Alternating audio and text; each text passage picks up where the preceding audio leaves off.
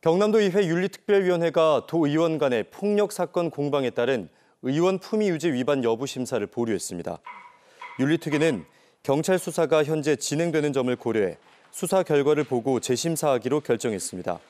한상현 의원은 지난 4월 하동군 현지 의정 활동 도중 최동원 의원이 자신의 팔을 비틀어 전치 3주 이상의 부상을 입었다며 최 의원을 고소했고 최동원 의원은 무고와 명예훼손 등의 혐의로 맞고소했습니다.